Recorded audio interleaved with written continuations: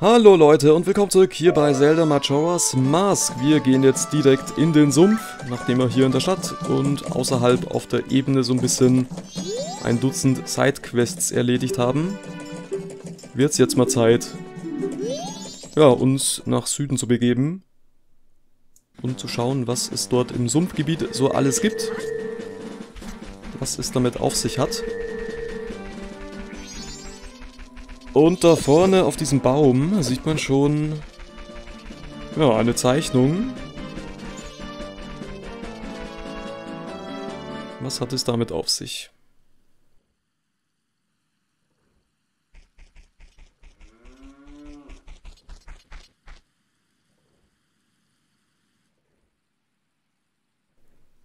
Oh, ich kenne diese Zeichnung. Tail und ich haben das zusammen mit dem Horror-Kit gezeichnet, kurz nachdem wir uns getroffen haben. Es sagte uns, es hätte mit seinen Freunden gestritten. Danach haben sie es einfach im Stich gelassen.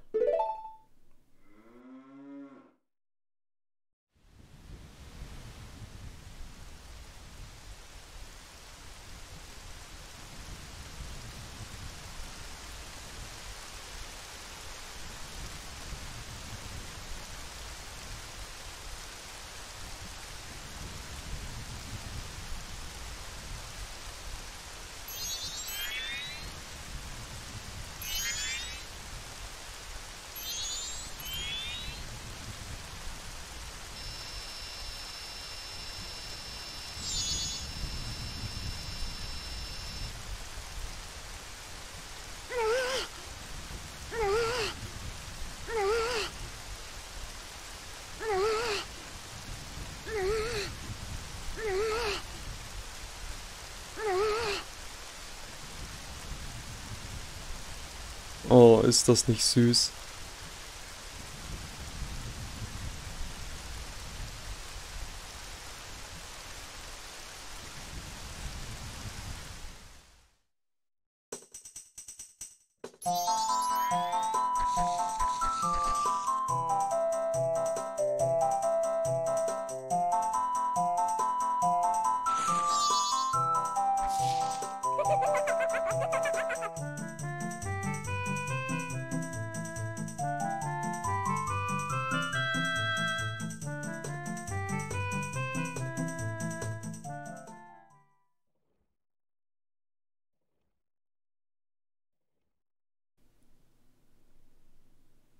Das hat mich auch nicht gewundert. Es musste immer allen Leuten Streiche spielen. Kein Wunder, dass niemand mit ihm spielen wollte.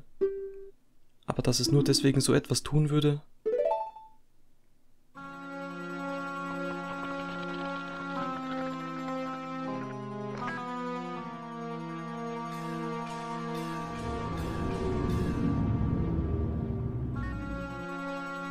Und als es dann in den Besitz dieser unglaublichen Macht gelangte,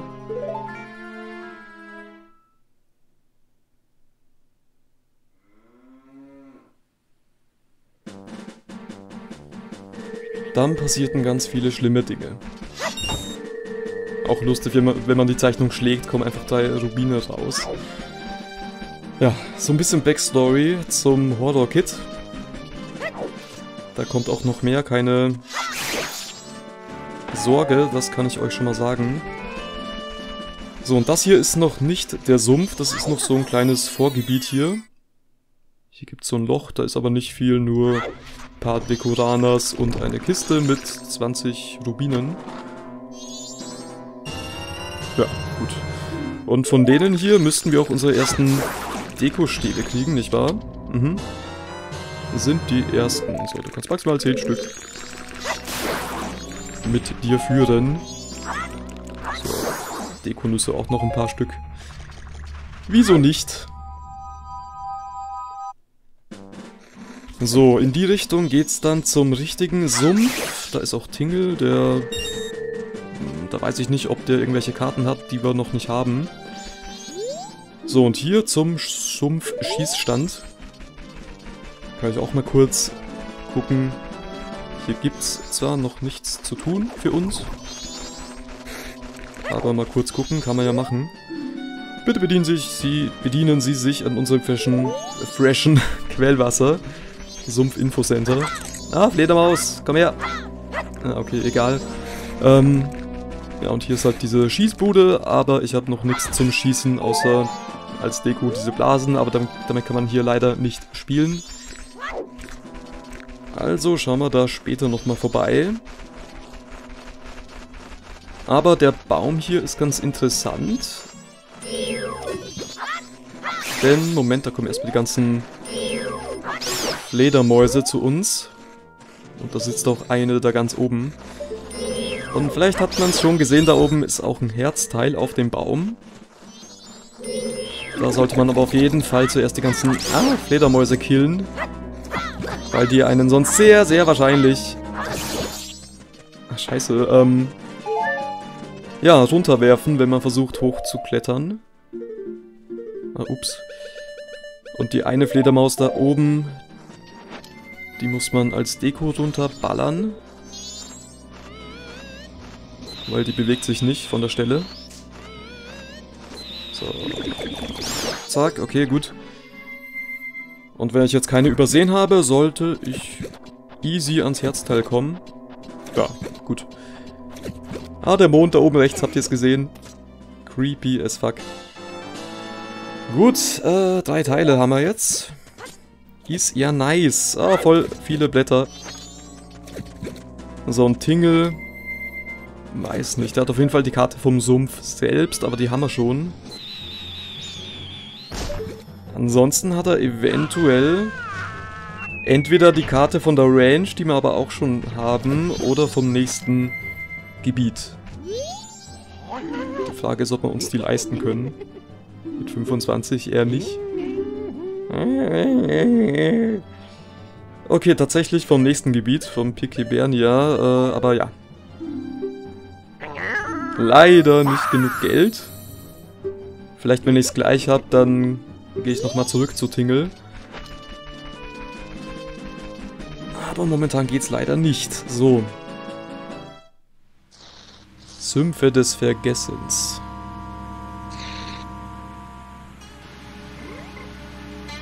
Warte, wie heißen die nochmal? Ich hab's vergessen. Ah. Na gut. Äh, so, da hinten erstmal die Eulenstatue aktivieren.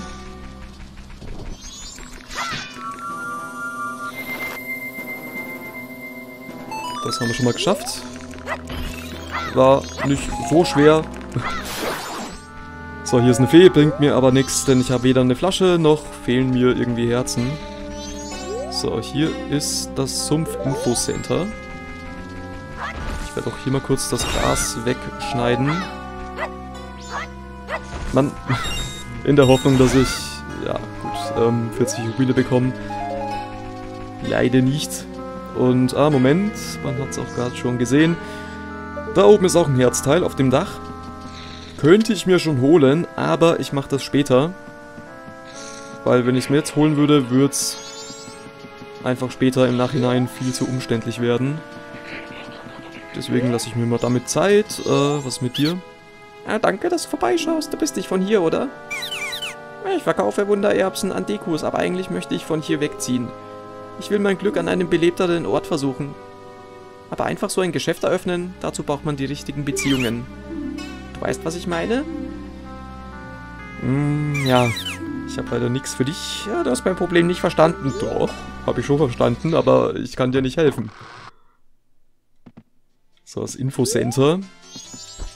Erstmal hier kurz gucken, was steht hier. Kann ich das lesen? Wieso kann ich das nicht lesen? Mann, egal. Kumes Bootsfahrtenbüro derzeit geschlossen. Bitte fragen Sie im Magieladen zur alten Schachtel am Rande der Sümpfe nach. Okay, und du? Boah, Alter, der ist ja voll behaart. Der ist ja noch behaarter als im originalen Spiel. Verflucht, wo ist er bloß? Dieses verwöhnte Balk schwänzt schon wieder die Schule. Ein Kind seines Alters sagt gefälligst nicht nach Feen zu suchen. Oh, äh, willkommen. Zeig mir doch mal das Bild, das du geschossen hast. Äh, was? Oh, nimmst du zum ersten Mal teil? Das Sumpf Infocenter veranstaltet gerade einen Fotowettbewerb. Leute aller Altersgruppen dürfen daran teilnehmen. Für hübsche Bilder, die im Sumpf gemacht wurden, erhältst du eine kostenlose Bootsfahrt als Sonderpreis. Hast du Interesse? Vorher musst du aber an einer Bootsfahrt teilnehmen. Fahrkarten erhältst du am Schalter gegenüber. Probier es aus. Hier ist aber keiner und ich habe keine Kamera. Äh, naja. Hm, warte mal, was, was sagt er eigentlich, wenn man als Deko mit ihm spricht? Ey. Äh? oh, zum Fotowettbewerb sind leider nur Menschen zugelassen, tut mir leid. Ja. Rassismus pur. Na gut. Dann würde ich mal sagen, ähm... So, hier geht's auch noch durch, aber da ist ein Octorok im Weg, der uns verschlingt, wenn wir ihm zu nahe kommen. Also, der Weg ist keine Option. Also springen wir mal hier zwischen den Blättern entlang. Das ist halt so eine coole uh, Fähigkeit vom Deku. Der ist halt in fast allen Aspekten schlechter als der menschliche Link, aber das ist ganz cool. Ja. Wobei das später auch nicht mehr relevant ist, diese Fähigkeit. Zum Magieladen zur alten Schachtel, okay. Ah, Dekorana. Ah, ich glaube, mit dem Schwert da zu kämpfen ist ein bisschen effektiver. Naja, wobei, hm, eher weniger. So, hier ist der Magieladen. Zur alten Schachtel. Und, ah, da gibt's ja auch was. Da habe ich mich immer gefragt, warum. Ja. Nämlich da hinten die Leiter. Da oben. Das habe ich immer gefragt, warum ist da eine Leiter? Wie kommt man da hoch? Was bringt die? Aber die Wahrheit ist, die ist halt einfach nur Deko. Da kommt man jetzt außer mit Cheats nicht hoch und... Ja. Die ist einfach nur da. Ohne Grund. So, äh, äh, reden. Äh, willkommen. Meine Tränke wirken gut. Bist du etwa wegen der Bootsfahrt gekommen? Was für ein Pech. Kume ging in die Wälder, um nach Pilzen zu suchen. Hm, wenn ich es mir überlege, ist sie schon ein wenig spät dran. Könntest du wohl für mich nach ihr suchen? Allerdings kann man sich leicht verehren. Frag die Affen, die dort leben. Und was hast du hier so zur Auswahl? Blaues Elixier 60 Rubine. Leider habe ich gerade nicht passenden Zutaten auf Lager, daher ist dieser Artikel gerade nicht lieferbar. Grünes Elixier für 10 und äh, rotes Elixier für 20. Da finde ich es halt ein bisschen doof, dass die... dass die halt keine Farbe haben. Wobei mir da jetzt auch zum ersten Mal auffällt, dass die Verzierungen auf den Flaschen je nach Elixier anders ist. Das ist mir vorher nie aufgefallen. Hm, krass. Ah ja, Moment, hier ist auch noch was. Das habe ich als Kind irgendwie öfters mal gemacht, wenn mir langweilig war. Nämlich bin ich von hier einfach in so einen Topf da reingesprungen. Ah, jawohl. Ja, und dann, äh, weiß nicht, habe ich mich in einen Deko verwandelt und dann ist er einfach komplett versunken. Das habe ich so oft gemacht, ich weiß es einfach noch. Obwohl das so viele Jahre her ist. Ach ja, schönes Spiel. Na gut, hier sind die Wälder. Wälder der Mysterien. Vorsicht, gefährliche Schildkröten. Okay. Und die Wälder der Mysterien sind im Prinzip äh, eine Kopie von den verlorenen Wäldern. Hm, du mir folgen. Also jetzt nicht Kopie im Sinne von, die Wege sind genau die gleichen, sondern halt, dass wenn man den falschen Weg geht, dass man wieder zum Anfang kommt. Und so, sonst gibt es halt so einen festgelegten Weg, der sich aber, glaube ich, je nach Tag unterscheidet. Also am ersten Tag ist er anders als am zweiten. Habe ich zumindest mal gehört.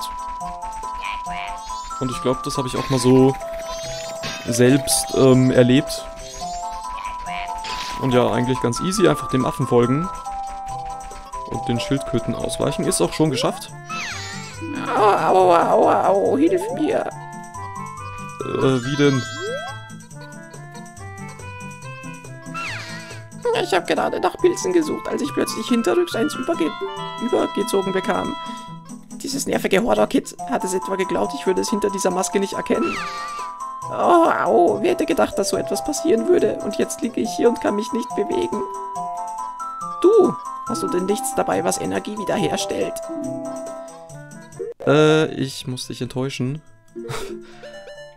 ich habe jetzt nicht so viel Zeug, deswegen nö. Äh, was ist das? Du bist auch keine Hilfe. Du bist längst nicht das, was du vorgibst zu sein. Was gebe ich denn vor?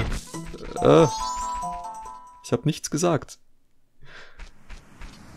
Na gut, dann äh, erzählen wir mal ihrer Schwester, was da passiert ist. Hauptsache das Horror-Kit wieder. Das hat irgendwie in so kurzer Zeit so vielen Leuten irgendwas angetan. Also die Macht von Majoras Maske ist nicht zu unterschätzen. So. Willkommen, ja, ja, ja. Äh, wie, was? Das Holokit hat Kube wehgetan?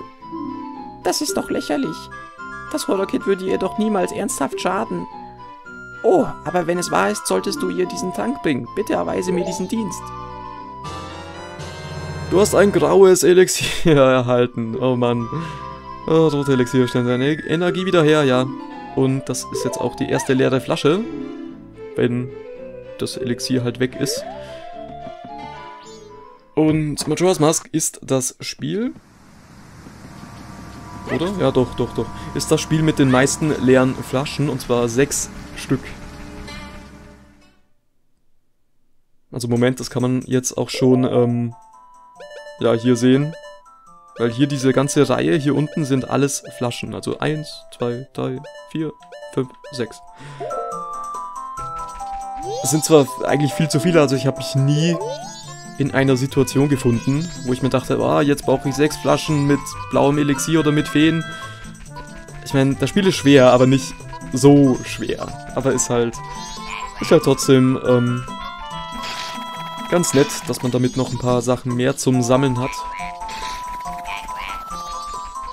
Beziehungsweise eine Situation gibt es schon im Spiel, wo man sechs Flaschen gut gebrauchen kann, aber ich glaube, da kann man noch gar keine sechs Flaschen haben und der Affe schiebt einfach mal die Schildkröte beiseite. Oh Mann. Fuck life. So. Jetzt kann ich dir helfen. Ah, oh weh, fühlst du dich nicht dazu verpflichtet, deiner armen alten Hexe zu helfen? Red Elixir. Bitteschön. Ah, die Farbe, der Duft, das ist eindeutig Kotakis.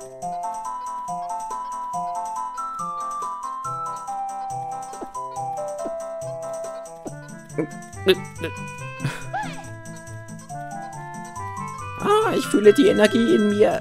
Kume ist wieder da.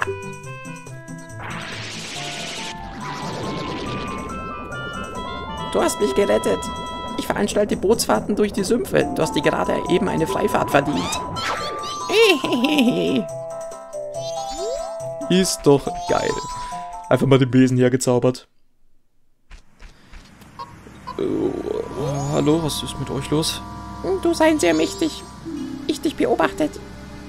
Sumpf sein voll giftigem, voller giftigem Wasser. Tempel über Wasserfall komisch. Bruder geht zu Tempel. Aber Bruder nicht finden Eingang zu Tempel. Tempel nur für Deko. Bruder von Deko gefangen. Jetzt sein im Palast. Hilfe!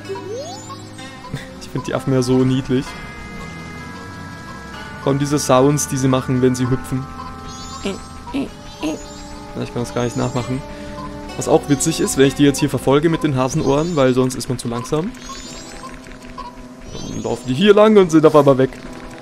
Ach ja. So, äh... Ja, bei Kume gibt's, äh, bei Kotake meine ich, gibt's jetzt eh nichts mehr.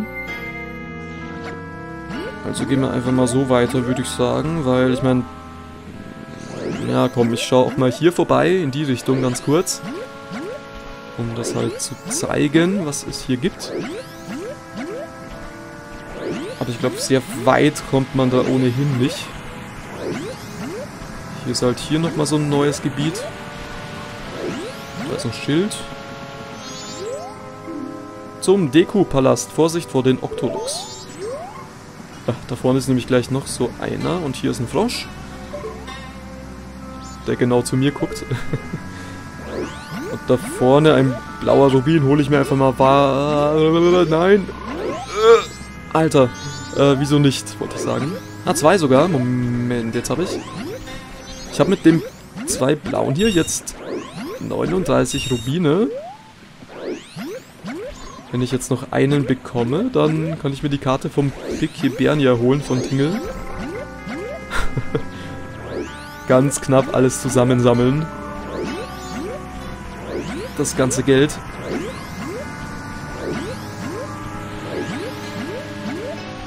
So, ganz präzise Sprünge hier am Start.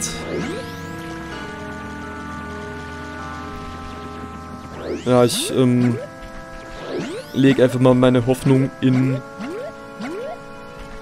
die Büsche hier vorne. Da werde ich schon einen Rubin rausbekommen. Wäre sonst sehr, sehr, sehr fies vom Spiel. Ah, nicht heben. Das dauert viel zu lang. Okay, gut.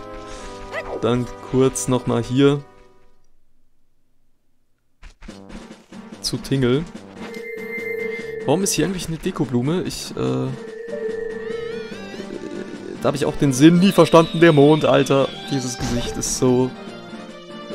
Ist hier im Texturpack, finde ich, noch ein bisschen hässlicher als sonst. Der blickt einfach in deine Seele. Ah, hallo, Herr Fee. Pikibernia. Hurra! Mit ihrer Hilfe findest du dich in den Bergen besser zurecht. Jederzeit bereit, Tegel, Tegel, Kuhl und Ipa. Ist gut, Tingle. So, und hier, jetzt ist auch die Karte schon fast voll aufgedeckt, eigentlich voll krass. Wir sind ja gerade mal ins erste Gebiet gekommen und uns fehlt nur noch, ja, eine Karte.